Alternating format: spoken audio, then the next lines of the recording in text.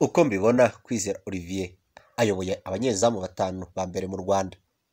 Umunyezamu w'ikipe y'igihugu Amavubi na Rayon Sports Kwizera Olivier akomeje kugaragaza ko ari we umwe mu bafite impano idasanzwe mu bakina mu izamu kugeza ubu ngubu mu Rwanda. Mu busesenguzi bwa benshi bakurikirana umupira w'amaguru mu Rwanda bakomeje gushimangira ko u Rwanda kugeza ubu rufite abanyezamu beza muri aka karere ruhereye mu mboni z'umunyamakuru H. Innocent yagerageje kwifashisha bamwe mu basesenguzi bakurikirana hafi umupira w'amaguru mu Rwanda. Maze maze akora urutonde rw'abanyezamu batanu beza mu Rwanda kugeza ubu ngubu. Hakurikijwe byinshi bitandukanye. Umunyezamu w'ikipe ya Rayon Sports Kwizera Olivier ni umunyezamu wa mbere mbere y'abandi bose mu Rwanda kugeza ubu ngubu. Urutonde rwa uko rumeze Kwizera Olivier wa Rayon Sports ni umusore wazamukiye mu kibuga cya tapi rouge cy'inyamirambo munsi ya stade ya Kigali akajya mu makipe isonga kubera impano idasanzwe afite ahita agurwa na APR Football Club adatinzemo kuko baje kumurekura. Ni umukinnyi uzi gukinisha neza amaguru akaba n'umukinnyi wigirira icyizere cyo ku rwego rwo hejuru.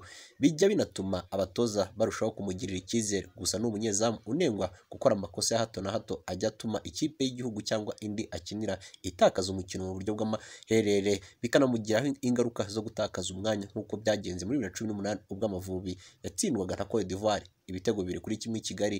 Ni umwe mu bashimwa n'abatoza batandukanye barimo Mugisha Ibrahim wamutoje muri APR Football Club no mu ikipe y'igihugu Amavubi kugeza no ku mutoza we mukuru w'Amavubi ari we Higiro Toma bose bahamya ko uyu musore afite impano idasanzwe. Ibindi byiza uyu musore afite ni uko azi gutanga umupira wa kure degajuma kandi akawugeza ku mukinnyi ashaka. Akaba nta rutahizamu upfa kumutsinda igitego iyo asigaranye ari umwe kuri umwe. E contre e.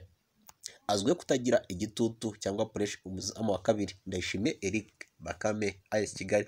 Umunyezamu ni umwe mu bamaze igihe bahamagarwa mu ikipe y'igihugu Amavubi. Akaba umwe mu bafite uburambe yaba mu ikipe y'igihugu yaba ndetse no mu makipe yakiniye uhereye muri APR Football Club Atraco FC kugeza muri AS Kigali arimo kugeza ubu ngubu Bakame yagiye ahura n'abatoza batandukanye benshi bamushima bavuga ko ari umwe mu bumva cyane. Amabwiriza akaba n'umukinnyi ufite uburambe bwo kuyobora bagenzi be mu kibuga. Ibyo byose bikamushyira kuri uyu mwanya wa kabiri.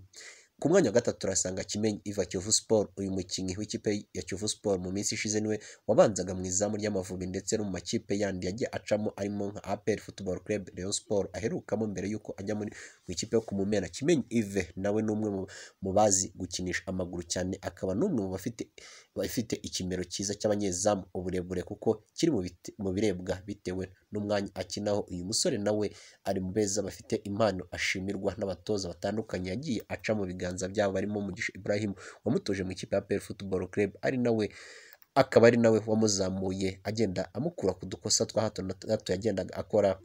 Kugeza ubu ngubu. Umwanya wa kane harasangaho Shami Rubati wa AS Kigali ni umunyezamu umaze igihe mu Rwanda wakina amakipe arimo Kiyovu Sport. Akaba umwe mu bafite uburambe ariko ugorwa ugorwa nuko Imana yamuremye bitewe n'umwanya akinaho cyane ko abakurikirana umupira w'amaguru ku isi bahamya ko gukina mu izamu binasaba kuba uri muremure kuko hari icyo bifasha kurushaho. Uyu mugande ni umwe mu banyezamu bafite uburambe mu bari mu Rwanda ubu ndetse akaba umwe mu bazi gukinisha amaguru no gutanga imipira miremire. Degajuma akaba umwe mu bazi kuvugisha ba myugariro be cyane. Ikindi arusha abandi ni ugufata imipira yo mu kirere kuko ni gake. Rutahizamu ashobora kumutanga umupira wo hejuru.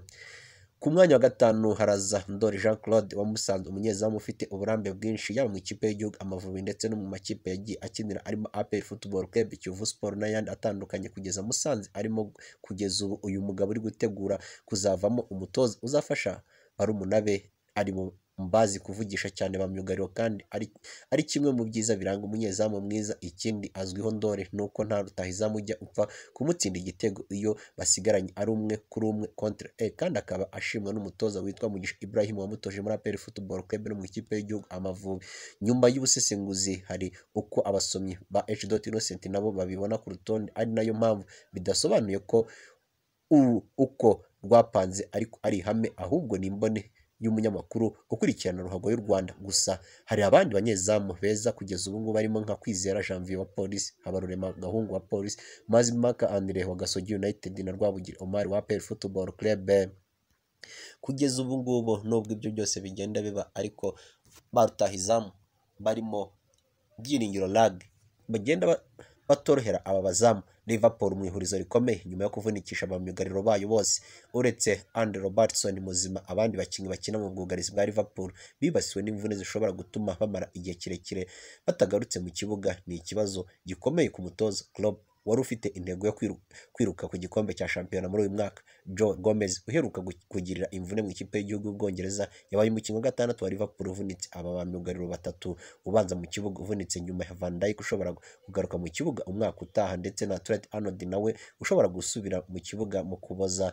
Mu bakinnyi basanzwe babanza mu kibuga mu bwugarizi Andy Robertson ni we usigaye ari muzima ariko nawe bivugwa ko nawe atameze neza ijana ku ijana kuko ngo mu mikino aheruka gukina yavuye mu kibuga. Acumbagira. Undi undi myugariro wakabaye aziba icyuho mu mutima w'ubwugarizi ni Joel Matip wari umaze hafi ukwezi ari hanze y'ikibuga kubera imvune gusa nawe ntaragaruka mu bihe byiza ku buryo yagenderwaho. Agahenge k'iyi kipe kuko avunitse yabikoraga Joe Gomez. Wavunikiye mu ikipe y'igihugu y'Ubwongereza azagaruka mu kibuga nyuma y'amezi atandatu. Akaba yaragize imvune ikomeye mu ivi. Van Dijk wavunitse ukuguru mu mukino wa Everton azagaruka mu kibuga amaze hejuru y'amezi atandatu. Trent Alexander-Arnold umaze igihe yaravunitse akagomba mari azagaruka mu kibuga mu kwezi gutaha kukuboza abandi bakinnyi ba Liverpool bafite imvune barimo Alex Oxlade-Chamberlain, Thiago Alcantara na Fabinho bazagaruka mu kibuga nyuma y'ibyumweru bitatu. Liverpool iri ku mwanya wa gatatu muri shampiyona y'Ubwongereza aho mu mikino umunani imaze gukina ifite amanota cumi n'arindwi. Intego z'umutoza Klopp muri uyu mwaka ni ukwisubiza igikombe cya shampiyona gusa ariko atangiye kugo atangiye gukomwa mu nkokora n'imvune za hato na hato z'abaki abasesenguzi muri ruhago bemeza ko ari ikizamini gikomeye muri Liverpool ndetse byaba ari inzozi ku mutoza Klopp gutegereza igikombe igikombe cyangwa gusoza mu makipe ane ya mbere adafite ubwugarizi bukomeye bemeza ko muri Mutarama bibiri na makumyabiri na rimwe Liverpool ariyo kipe ya mbere izajya ku isoko ry'abakinnyi ishaka ko bamyugariro kandi bafite amazina akomeye kugira ngo baze gufasha ikipe ya Liverpool mu rugamba rwo guhatanira ibikombe. Uretse shampiyona y'Ubwongereza n'ibindi bikombe bikomeye muri iki gihugu Liverpool irahatanira igikombe cya UEFA Champions League muri uyu mwaka kuba yakongera ikagitwara. Intego ni ukubajyana mu matsinda. Niyo mugabo abwira abafana ba APR Football Club myugariro w'ibumoso muri APR Football Club niyo mugabo Jean Claude yavuze ko we na bagenzi be bafite intego imwe yo guha abakunzi b'ikipe ibyishimo bakayigeza mu matsinda ya CAF Champions League mu nshuro ya mbere. Tombora yabaye kuwa mbere yasize APR Football Club izahura na Gor Mahia yo muri Kenya mu ijonjora rya mbere ry'imikino nyafurika ya CAF Champions League mu kiganiro yagiranye n'urubuga rwa internet rw'ikipe niyo mugabo Jean Claude ukinira APR Football Club yavuze ko intego bafite ari ukugeza mu matsinda y'irushanwa nyafurika bagaha ibyishimo abafana bamaze igihe batareba umupira. Ati abafana bamaze igihe batareba imikino batareba ikipe yabo bakunda icyo nababwira ni uko bakomeza kutuba hafi. Ntibacike intege nk'uko n'ubundi babikoze tukiri muri guma mu rugo. Dufite ikipe nziza intego nta yindi ni ukubajyana mu matsinda tukabaha ibyishimo bataherukaga kubona.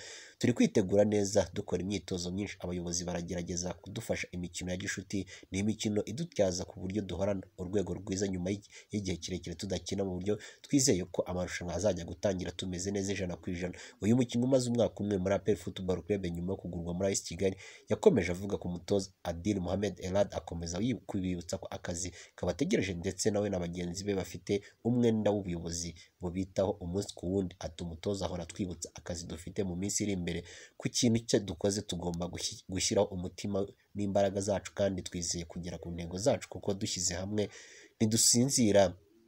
Turakoresha imbaraga zacu zose tuzaruhuka ari uko tugeze mu matsinda Champions League. Turashimira cyane abayobozi bazadusura kenshi batwibutsa intego dufite mu by'ukuri iyo abantu bakomeye.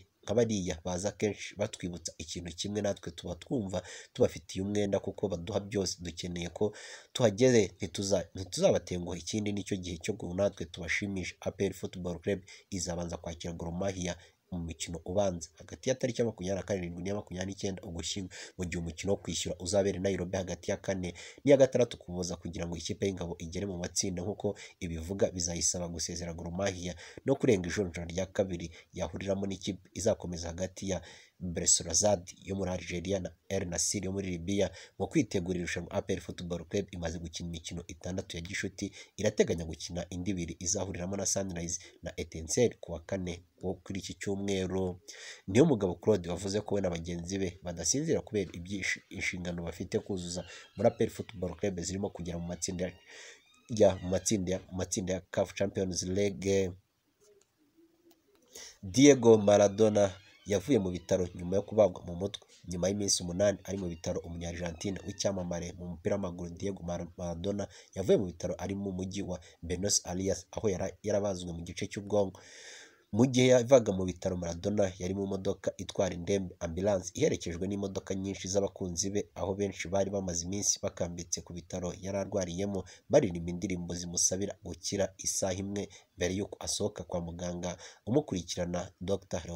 Leopold Roque yabanje gutangariza imbaga yari irimo abanyamakuru ko Maradona yamerewe gutaha iwe mu rugo. Diego Maradona imyaka mirongo itandatu y'amavuko azakomeza kondorerwa mu nzu iherereye ahitwa Tigre hafi y'umukobwa we wa bucura Giannina. Umwe mu bana batandatu ba Maradona babashije kumenyekana. Maradona yajyanywe mu bitaro afite ikibazo cyo kubura amaraso. Amaraso n'amazi amazi mu mubiri. Tariki ya kabiri ugushyingo bibiri na makumyabiri biza kugaragara ko afite ibibumbe by'amaraso byipfunditse mu mutwe we. Hematamon sudara akaba yaratangiraga koroherwa nyuma yo kubagwa.